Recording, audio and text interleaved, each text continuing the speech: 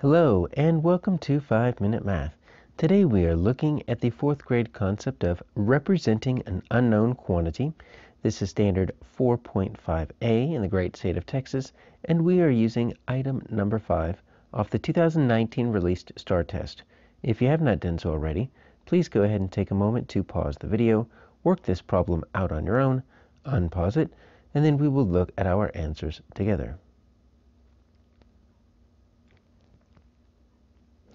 So Alexa had a total, that's going to be important, of 36 bottles of water. She drank half of the bottles of water last week, and she'll drink the remaining bottles of water during the next six days. And then she's going to drink the same number of bottles each day.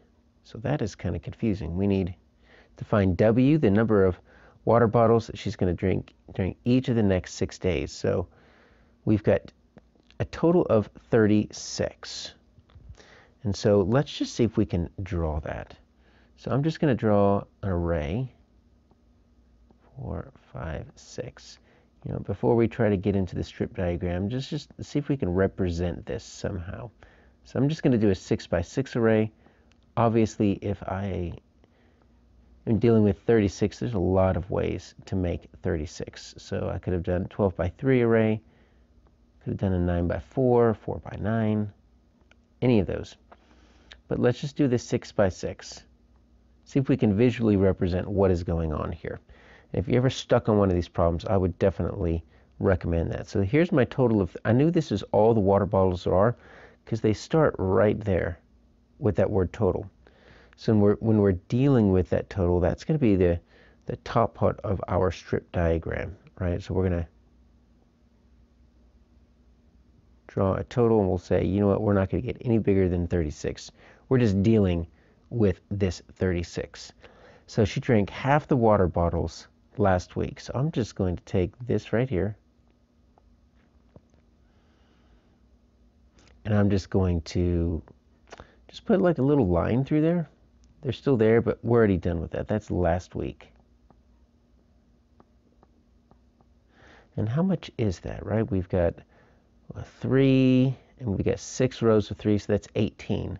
So 36, if I wanted to cut that in half, that means divide by 2. Cut in half means divide by 2. That's 18. Right, so I could do this. I could, on my strip diagram I'm kind of building here, I could say 18 of them are already gone. So that's, that's good. We've got the first part. Now it's this second part right here that's going to be kind of confusing. Alexa's going to drink the remaining water bottles.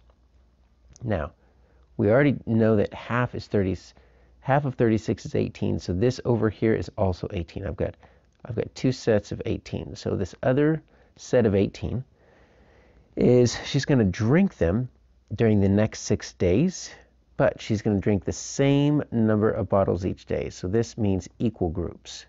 It's not like she's going to drink 10 and then 2 and then 3. It's going to drink the same number each of the six days. Equal groups lets me know that we're dealing with multiplication or divisioning. In this case, let's divide. We've got six, look, we got six rows right here. So I can say day one, day two, day three, day four, day five, day six. And inside each of those days is going to be three. So let me see, I'm going to just draw thirds. Cut my thirds in half, and I've got sixths. And here we go. We're looking for which diagram shows how much she's going to find each drink each of the next six days. Well, I could put W in there, but we've already done the work. We know that they're going to be three. Six sets of three right here. That equals 18. Then the other 18, that makes you 36. So which of these strip diagrams best represents what we've already worked out here? Well, I can already tell you A is going to be wrong because this 36 is not the total. Now they put their total down below. That's fine. We put ours up on top. But that 36 needs to be your total. B, your 36 is your total. That's fine. Uh, and we've got the 6. The 6 isn't an amount. It's just the next 6 days. So that's not even an amount. Um, and that doesn't deal with half of it being gone. C looks like they've got half gone. D looks like they've got half gone. So the difference is D doesn't split it up into six equal days, and the answer is C.